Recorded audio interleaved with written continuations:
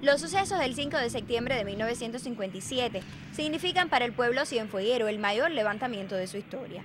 Aunque en lo interno esta acción resultó un revés para el movimiento 26 de julio, en sentido general representó una victoria para la lucha por su tremenda repercusión nacional y el hecho de que durante horas fue un territorio libre, el primero de la revolución en el país.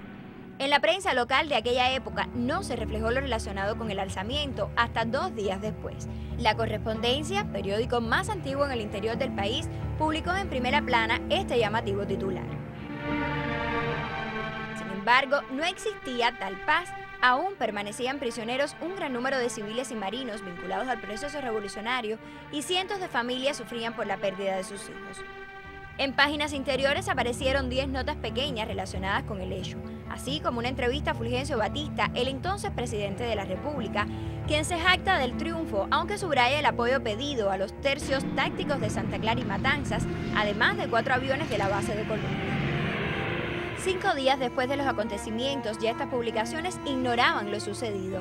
Como noticia más importante sobresalía el recibimiento del general Batista a los integrantes de una brigada artística de Norteamérica. 23 años después se funda en la provincia la editorial 5 de septiembre. Aparece entonces cada año la recordación de todo un pueblo a los mártires de aquella gesta. Editoriales, reseñas históricas, instantáneas ocupan siempre el merecido espacio de la primera página como muestra de respeto y evocación. Marley Muñoz, Notesur.